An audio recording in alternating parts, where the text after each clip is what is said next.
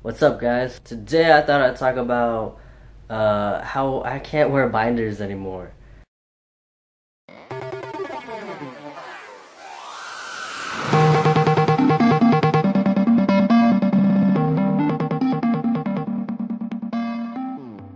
Today I thought I'd talk to you guys a little bit about alternate ways to bind without a binder, blah blah blah, because I can no longer wear binders anymore for some reason like the shape of them just doesn't fit my body and my body is really weirdly proportioned so i'm really broad up here and like this area i'm pretty wide so i'm big i'm broad i don't know like i have pretty big like you know shoulder muscles and whatnot and then uh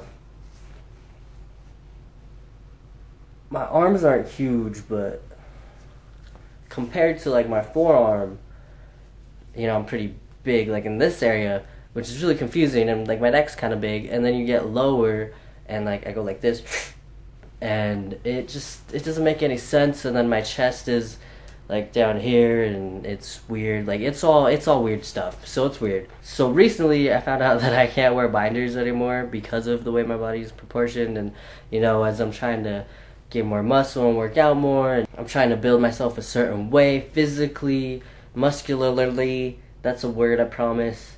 It's affecting the way I wear clothes, and more specifically, binders. I've been binding for seven years, and I started wearing binders probably six or five years into that seven years.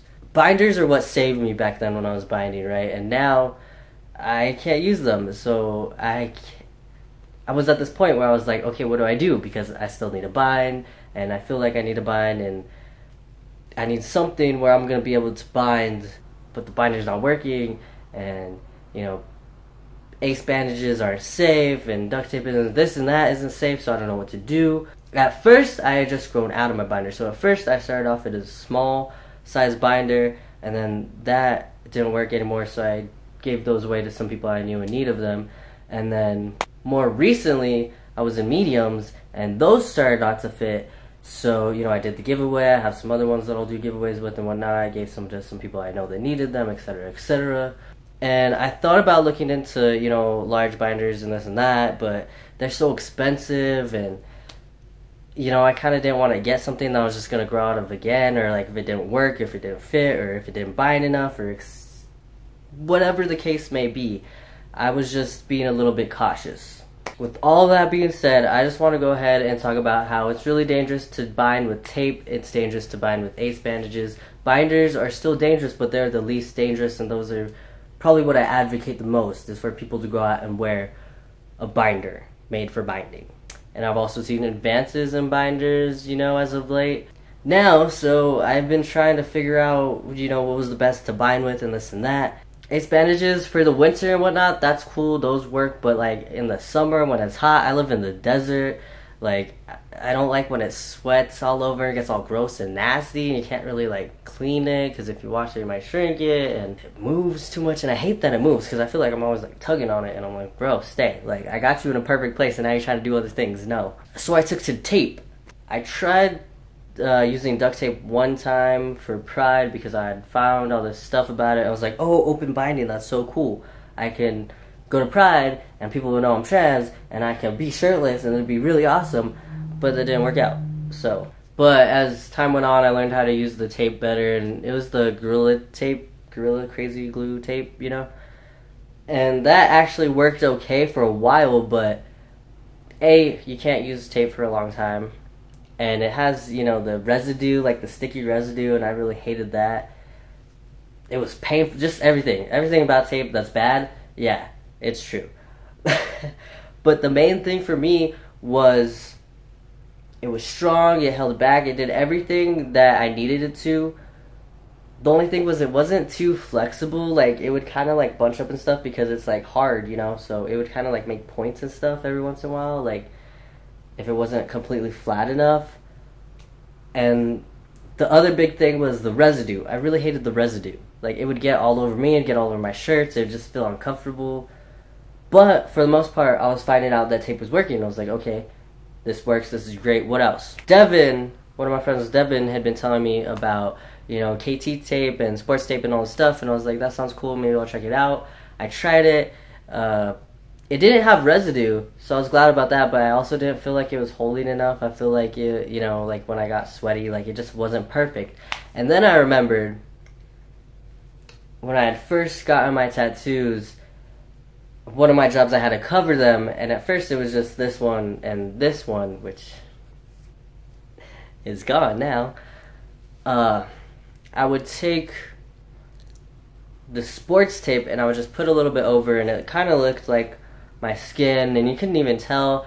And now sometimes I'll wear it to cover this one. So I was like, hmm, maybe let me try that. So, if you guys are wondering, Ace Waterproof Sports Tape. The reason I call out this one is mainly because the waterproof. Blue like the ocean. This is awesome. It comes in a nude color already. So, what I recommend with this is take however much of a piece you need, cut it with scissors because if not, you're going to mess up the elasticity and it's not going to be sticky or anything. But use scissors with this, find out how much you need, and bada boom, bada bing. It's awesome. I'm going to kind of tell you guys how I do it, but I'm also going to let you guys know. No matter what, there's a lot of people out there who will tell you how to bind, like open chest bind basically, which is basically what I do with this just remember to take everything with a grain of salt because it's not always going to work for you. You need to adhere this to the way it's to make your body look best. I like that crease in my chest, and my chest is pretty separated. For the most part, you kind of just see like this crease and it's separated. I have built some muscle right here, so it mainly looks like pecs, right? It looks like muscle. It looks pretty, uh. And then, you know, the the fat is more towards the bottom of my chest there's pros and cons to it. There's always to be pros and cons. This isn't thick.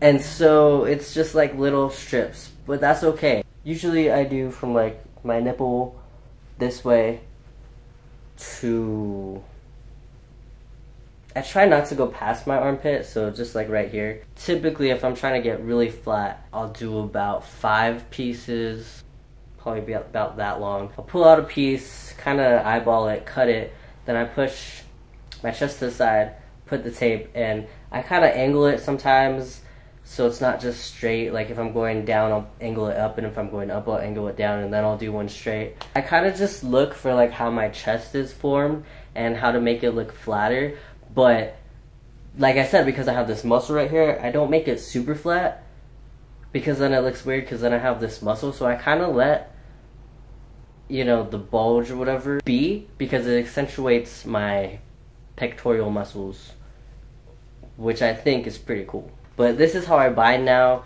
and it doesn't have residue. For this type of tape, it actually does hold, and it is pretty strong. So I know when I first tried it, I was like, "Oh, this isn't gonna work. It's not gonna hold." But actually, it's pretty strong. It's pretty durable. It's flexible. It's breathable. Uh, it's waterproof, so when you sweat, it doesn't mess anything up. It doesn't like start coming up. It's awesome. I really recommend that. So go out, get yourself some Ace Bandage waterproof tape. Try it out. And for the Gorilla duct tape, I still do think that one's great. It's just like I said, the residue and like sometimes it just like bulks up and whatnot. And this one doesn't because it's like smooth, it's soft, it's flexible. You can't really tell.